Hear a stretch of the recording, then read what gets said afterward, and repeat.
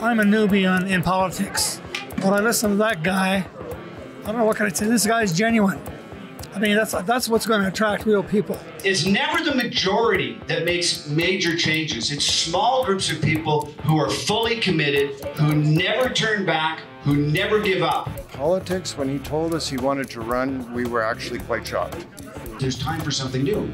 Okay? And maybe it'll be Maverick, maybe it'll be PPC, I don't know. But right now, let's let the horses out of the gate and let's see what happens. Yeah. For people to actually see him and hear his passion, um, I feel that our country can go somewhere very special, somewhere that we needed to go from the very beginning. What your take is on oligarchs and New World Order in five words.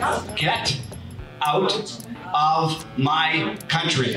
Hey guys, sorry to interrupt the video. Unfortunately, big tech companies like YouTube don't like you getting the full story. But if you do want the full story, the other side of the story, go to rebelnews.com and watch the content now. That's the only way to ensure you get around big tech censorship. Again, rebelnews.com.